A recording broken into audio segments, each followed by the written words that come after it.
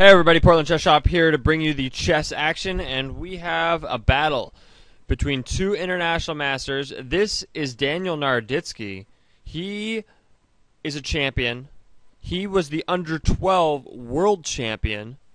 He's a uni- from the United States, from the San Francisco Bay Area, and when he was uh, 11 years old, he went to Istanbul and won the whole um, world championships for his age group. So this is an excellent player. This is, you know, if Nakamura does does not become world champion, I think th- this guy is United States' uh, current best chance. So he's currently working on his Grandmaster norms.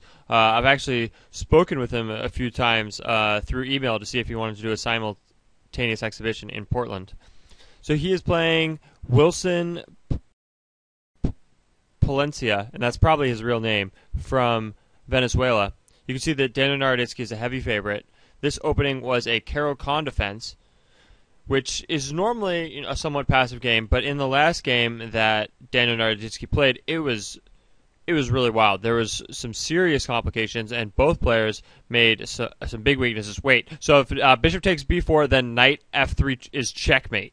So look at that move. That is just amazing. He plays b5. Now the queen's hanging, and he's threatening this check, which isn't checkmate anymore because the king could come here, but it is a good tactic. Check, takes, and it takes the queen. And that's how Daniel Naroditsky takes this guy down.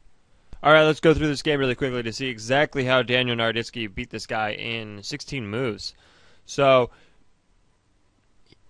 they played the Caro-Kann defense, which I was starting to explain uh, is usually a passive opening. It's like defensive, you're just grind it out.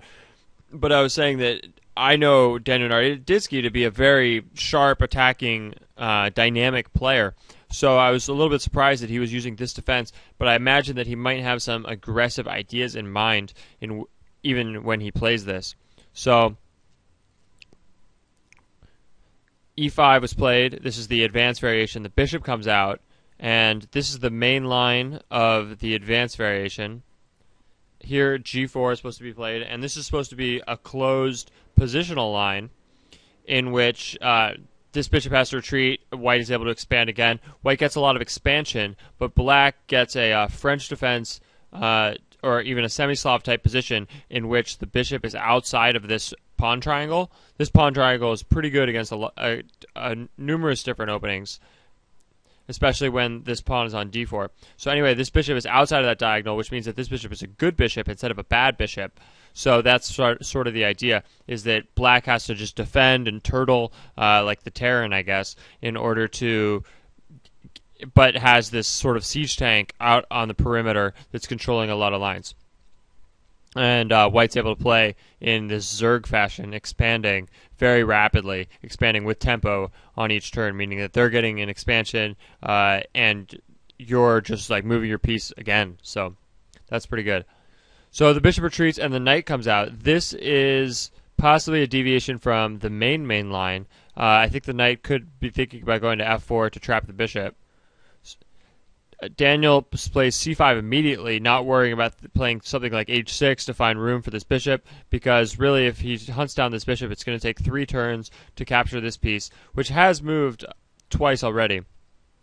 But pawn up, this is attacks the center, and this is sort of an attack on the sides, or the idea of an attack on the sides, and you attack the center in response to an attack on the sides.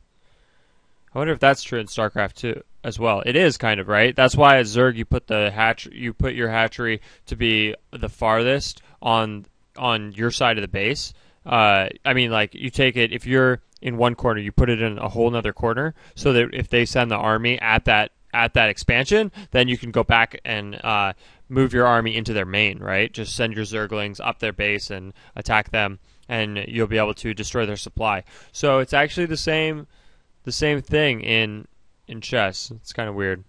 So h4 is played, uh, attacking this bishop. So now the bishop's going to have to create a little bit of room. Probably play something like h6 in order to find some space, some breathing room for this siege tank. Knight c6 and h5 is played. So now the bishop is attacked, and the bishop. This is pretty interesting. It looked like the bishop's going to have to go to e4, after which the knight will be able to take it. So the usually usually you don't want to trade the bishop for a knight, but uh, Daniel is trading activity. He's now attacking the center with this move and with this move, and attacking you know his opponent's base. In order, he's trading activity, uh, time really for for the bishop. The bishop is captured, and the knight is captured as well. So now we have a little bit of a different position uh, from the traditional Caro-Kann. The d file could open up, and this square is attacked. If this, if anything moves here, then this square will be weak, and this pawn is an interesting pawn because it looks like eventually white could capture this pawn. But it's a question of does he have enough time, and will he be able to maneuver around this pawn in the meantime? So c3 is played, creating basically a pawn fence, a pawn chain, so that each pawn is defending the other. After which there's takes, takes, and bishop check. Now this move is a is a good move. So it's checking the king, and you notice that the king actually doesn't have any squares. It's something interesting that this awkward knight move did to the position. So check, and it looks like bishop d2 is going to be like the only move because you don't want to interpose with the queen. So you literally only have one move, which is bishop d2. And now you might think bishop bishop a5, but it, I, this is the position I believe in which Daniel played a very aggressive move. Knight takes d4. No way. Check this out. Oh. So it's not it's not sound maybe.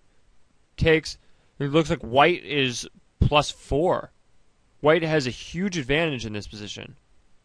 Wow. So it wasn't a sound play even though it won immediately. I thought it was sound when I was watching it live, so this is quite surprising. So the, the line in which it's uh, refuted is knight takes knight takes d4.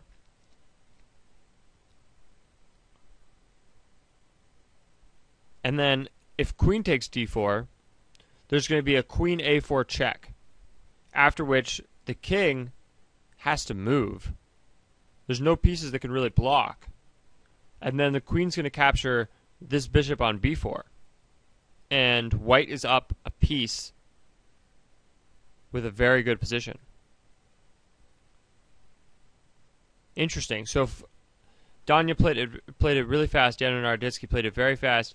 And this guy, I wonder how long he thought about it because he actually has a game-winning move. It was pretty scary because this knight check looks like mate, but he just blundered with queen a4 after 10 seconds.